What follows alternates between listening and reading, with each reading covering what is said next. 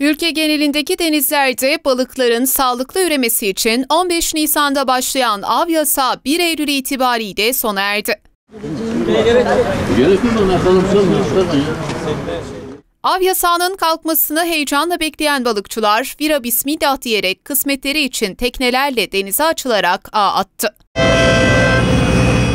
Samsun'daki balık sezonu ise Vali Osman Kaymak, Büyükşehir Belediye Başkanı Mustafa Demir, İyi Parti Samsun Milletvekili Bedri Yaşar, Türkiye Barolar Birliği Başkanı Metin Feyzoğlu'nun katılımıyla gerçekleşti.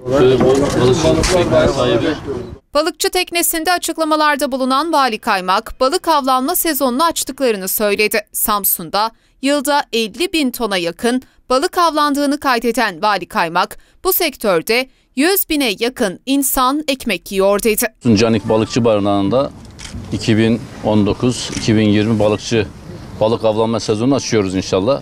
Öncelikle hayırlı olsun bütün balıkçı kardeşlerimize. Öncelikle Samsun'daki balıkçı sektörü hakkında bilgi vermek istiyorum. Samsun'da arkadaşlar yılda 50 bin tona yakın balık avı avlanmakta. Ve bu sektörde arkadaşlar 100 bine yakın insan ekmek yiyor. Tabii bunun tutanı, işleyeni, satanı kattığımız zaman 100 bine yakın insan bal- balıkçılıktan ekmek yiyor ve o anlamda Samsun Türkiye'de balıkçılıkta en önde gelen birinci illerden birisi.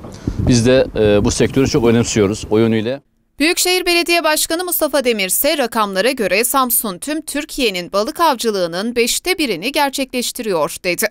kapasite anlamında, avcılık anlamında hem de e, elde edilen, avlanan ürün anlamında ki Samsun bu konuda da bir burada çok değerli arkadaşlarımız var. Hemen hemen birçok alanda özellikle balık sanayisi de Samsun'da gelişmiş durumda. Hatta ihraç ürünü olarak da Samsun'da ciddi bir yer, tut yer tutmaktadır. Bu sezonun da inşallah iyi geçmesi temennisiyle bugün buradayız.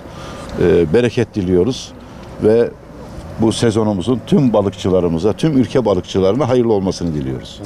Konuşmaların ardından dualar edildi ve Vali Kaymak da beraberindekiler balıkçılarla birlikte balıkçı teknesiyle denize açıldı. Ve Rahim sıfatına inanarak, sana sığınarak senin kapına geldik.